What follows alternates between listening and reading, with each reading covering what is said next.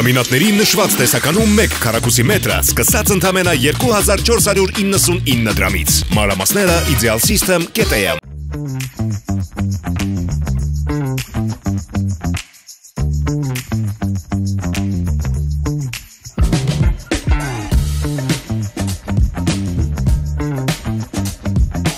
Ողջույն, դուք դիտում եք առաջին դրատվականը, ես Ժիրայր Ոսկանյանն եմ։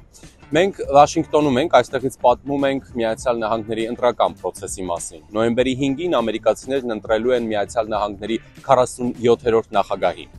Ամերիկյան երկուսակցական քաղաքական համակարգում այսօր կա առաջադրված երկու հիմնական տեխնացու։ Դեմոկրատական կուսակցության տեխնացու գործող փոխնախագահ Քամալա Հարիսը եւ հանրապետական կուսակցության տեխնացու նախկին նախագահ Դոնալդ Թրամփը։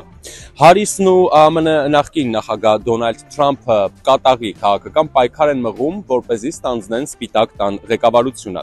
Այս ընթացքում բազում սոցհարցեր են անցկացվել, որոնց պատկերը գրեթե նույնական է, այսինքն Քամալա Հարիսը եւ Դոնալդ Թրամփը միմյանցից տարբեր սոցհարցումների արդյունքներով կարող են զիջել միմյանց ընդամենը 1%-ային տարբերությամբ։ Ըստ վերջին սոցհարցումների տվյալների, որն իրականացրել է NBC-ն եւ CNN-ը, Քամալա Հարիսը եւ Դոնալդ Թրամփն ունեն հավասար տոկոսներ երկուսն էլ 49%։ 2024 թվականի նախագահական ընտրությունները բացառիկ կարևորություն ունեն, քանի որ երկու տեխնացուներն ունեն ուղակի հակադիր պատկերացումներ, տեսլականներ, քաղաքականություններ, թե ներքին, թե արտաքին քաղաքականության վերաբերյալ։ Միացյալ Նահանգների ընտրական համակարգը ունի առանձնահատկություններ ու դրանից ելնելով ընտրության ելքը ապահովելու են այսպես այսպես կոչված տատանվող նահանգները։ Դրանք մի քանիսն են Միացյալ Նահանգներում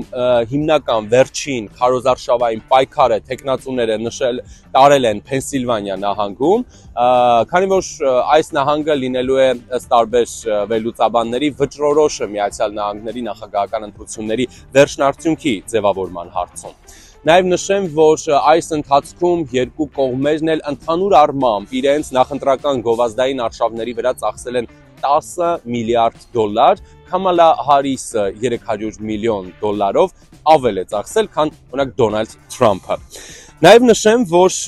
Կամալա Հարիսը արդեն իսկ քվեարկությունը իրականացրել է։ Նա քվեարկել է փոստային քվեաթերթիկի տարբերակով, սա Միացյալ Նահանգներում տարածված ձև է քվեարկության, որը իրականացնում են ընտրություններից ընդամենը մի քանի օր առաջ եւ բնականաբար նաեւ բազում ամերիկացիներ էլ հենց նոյեմբերի 5-ին արդեն ընտրատեղամասում են իրականացնելու իրենց քվեարկությունը այս ընթացքում կողմերը հանդես են եկել միմյանց հասցեին մեղադրական տարբեր հայտարարություններով օրինակ ամենաթարմերից մեկը Դոնալդ Թրամփը կրկին Քամալա Հարիսին մեղադրել է ցածր IQ-ը ունենալու համար եւ նշել է որ նրան պետք չէ վստահել այդքան մեծ իշխանություն որ նա չի կարող եւ կոմպետենտ չէ, որպեսզի բարակցություններ վարի Ռուսաստանի եւ Չինաստանի հետ։ Անդրադարձել է Եվրոպային այն համարել վատը, ինչպես եւ Չինաստանը։ Դե Քամալա Հարիսը եւս տարբեր բնորոշումներով խոսել է Դոնալդ Թրամփի մասին, մասնավորապես նա նաեւ հետևորդներին կոչ է անում թույլ չտալ, որպեսզի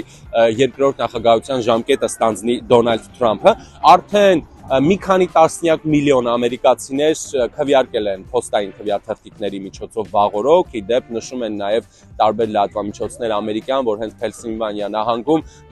վերահաշվար գուցե տեղի կունենա ձայների, քանի որ այդ նահանգը լինելու է, այսպես ասած, վճռորոշը։ Եվ առաջին լրատվականը հետևում է իրադարձություններին եւ մենք նաեւ հենց տարբեր ընտրատեղամասերից ձեզ կպատմենք թե ինչպես է ընթանում Միացյալ Նահանգների նախագահի ընտրությունը։ Իդեպ նաեւ նշեմ, որ ամերիկացիները նշում թե ինչու են օրինակ մեր հարցախույզերի ժամանակ ընտրում